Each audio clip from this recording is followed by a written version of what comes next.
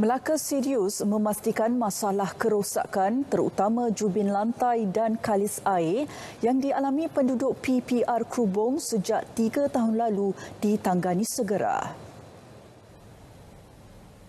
Jika pada 2020 hingga 2022, Lembaga Perumahan Melaka telah mengeluarkan kos lebih 1.2 juta ringgit bagi membaiki kerosakan di 213 unit rumah di PPR berkenaan, untuk tahun ini pula hampir 500 ribu ringgit diperuntukkan LPM bagi 74 unit rumah lagi.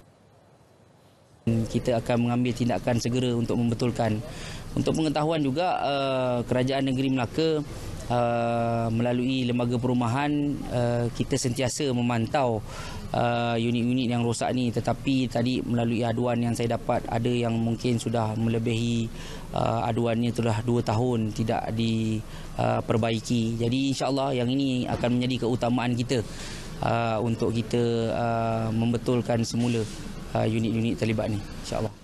Sejak 2013 hingga 2022, sebanyak 21.4 juta ringgit telah dibelanjakan LPM bagi kerja naik taraf dan menyelenggara PPR serta rumah pangsa awam di seluruh Melaka. Ia termasuk kerja-kerja pembersihan, penyelenggaraan lift dan pemotongan rumput.